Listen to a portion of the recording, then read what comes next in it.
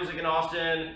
Uh, just going live uh, for a hot second. Hello, uh, if anybody else jumps in there live and comments, great. Uh, Kendall's looking at the, the phone behind the, the ring, so if he sees any comments, he'll yell it out to me. But basically, uh, I wanted to go live about this South by Southwest being canceled.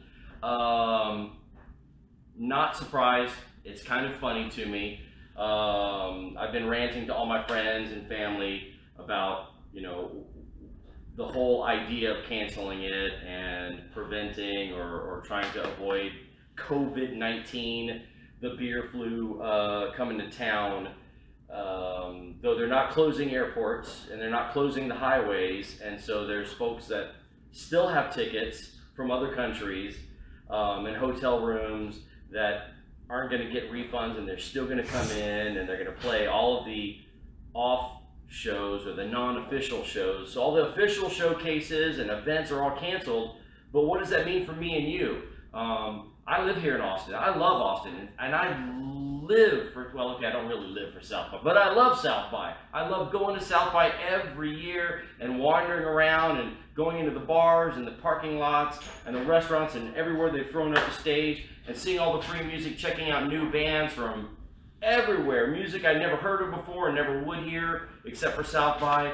Um, bands that I've heard of, but all of a sudden here they are right there in the parking lot in front, right in front of me, or on the back of a trailer. Um, it's just, it's an awesome, great, fun time for me. I know a lot of people hate South by. Okay, whatever, then don't go. Um, a lot of people say South by has cannibalized itself with how big it got and all the things. I kind of was one of those people. Um, but the whole vibe of South by itself, with with all of the music, uh, Omar Vallejo, uh, he just posted a few minutes ago. South by's canceled. South by, so what? Um, that means more room for all the local bands to do their thing. I 100% agree. For all those bands out there in the world that are still going to be in town and you know, if they're not shutting down the bars and you still got your events, you know, y'all need to really go hard and letting everybody know where you're going to be at, where you're performing. I want to know. Hell, I want to know what's going to happen with with you know Greg and Destiny. You know what's going on at one to one. Are y'all going to close the bar? Are y'all going to continue? Have I saw y'all had something posted up. Uh, ben, you and and uh, Anthony, is is coming take it's going to shut down completely, or are you guys still going to be open and y'all going to run your thing? The Dirty Dog, man, a ton of free stuff happening at the Dirty Dog this whole upcoming South by week. Uh, so, and unless they're shutting down the bars and kicking people out and closing the highways, sounds like the party is still going to happen.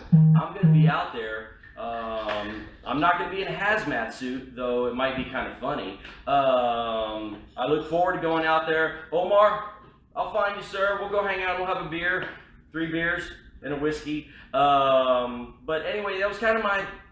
I'm not going to rant about why they closed it or protecting the brand image, and and if something happens, they don't want to have people leave Austin, Texas, and then it turns out they have COVID, you know, the beer flu, and and then all of a sudden they trace it back and say, oh, it was because of South by. So they want the brand name and the brand image tarnished because, you know, an outbreak started here because they didn't cancel the festival. Fine.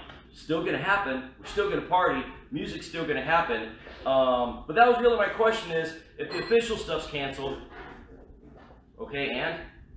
Um, but man, y'all hit me up on uh, the live music in Austin page uh, post out there what's going on, what's still happening, what's what's going to be going down. Um, you know, Ben and Destiny love Ben and Destiny. Good God, I swear to God, I've only had one beer right now. Greg and Destiny, love you. Ben, Anthony, love you guys. Uh, Omar, everybody out there, all the bars, the clubs, the venues. Um, let's keep it live. Well, for this coming week, it may not be live and local, but go out there and have fun. And okay, maybe there won't be a half a million people, but we're still going to do some fun, do some damage, uh, maybe punch our livers a few times. But anyway, so it's canceled. So what? Take the official brand off of it. Let's make this party back like it was 1989, 91. Uh, and if that's way too far back for you, okay, let's make it like it was 2002.